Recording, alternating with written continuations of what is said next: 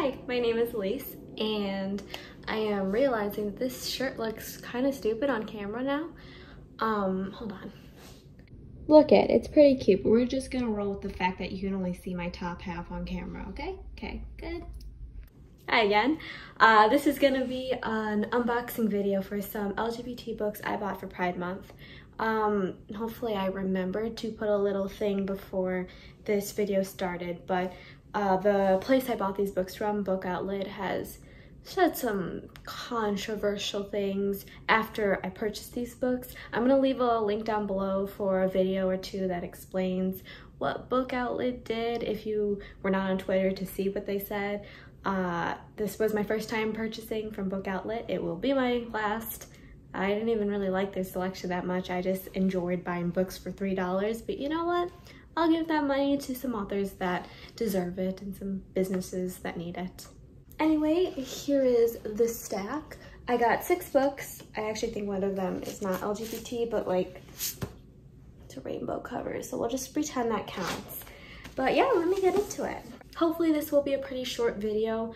Uh, I did plan to do a lot more Pride related videos for this month, but just with the things going on, my schedule just was off. So, you know what, we're just gonna start with this one. Maybe there'll be some more this month, whatever I can manage. I discovered Avatar The Last Airbender for the first time. So definitely going down that rabbit hole. I had so many books to read this month and now I'm just taking my time to read all the Avatar graphic novels. But you know what? It's okay. I still have, it's still summer. I have lots of time. It's cool. It's great. I just, don't worry. Just enjoy the video. Thank you. So the first book from my haul is Death Prefers Blondes.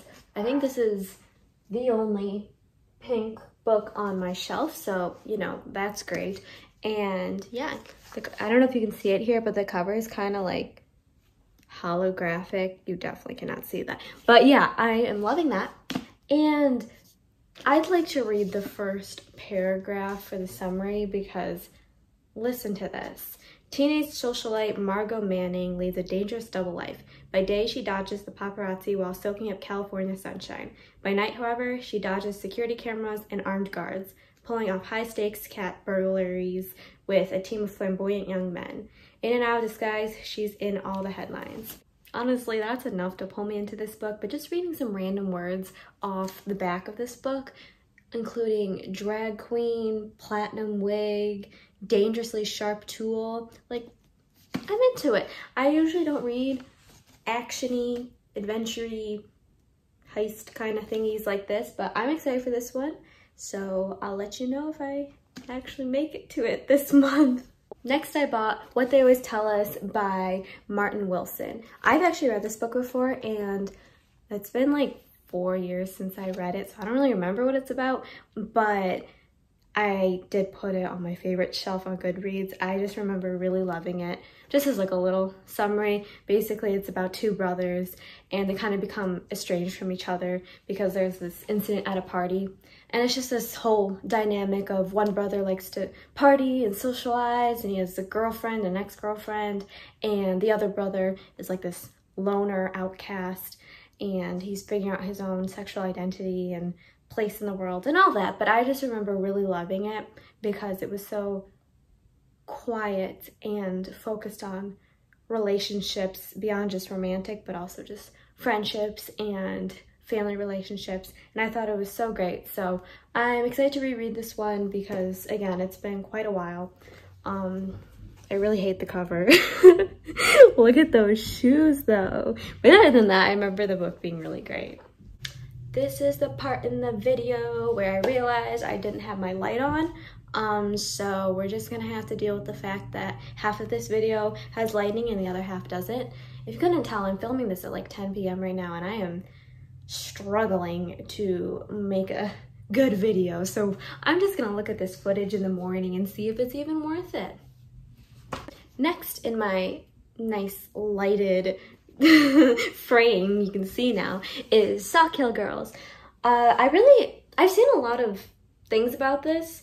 I've kind of been avoiding reviews and stuff because I don't want spoilers and I really don't know a lot about it. I read the back and I still don't know what it's about. It's something about disappearing girls. I've read that concept before, so I'm wondering how this will take that. But I'm excited because it's, I think it's horror or suspense or something beyond the normal contemporary that I usually read. But yeah, this one looks great. I love the cover. I'm pretty sure it is sapphic, so always bonus points for that. Next, I got Earth to Charlie. Um, this is another book. I have no idea what it's about. I really got it because it was like two or three dollars on Book Outlet. I like my bargain books, okay? Uh, reading the back, it looks like it's about a kid who gets bullied and some weird aspect about him believing in aliens. I don't know. I I read whatever that other book about aliens is. We are the ants. I don't know. I but yeah, that's been a concept before in a book about a kid who kind of believes in aliens. So interested to see how this goes. Um, once again, I'm going to keep saying this. I love this cover. All the books I bought for this haul, the covers are so bright and colorful, which is appropriate for this month. So that's great. Next is This Is What It Feels Like. Um, also a beautiful cover.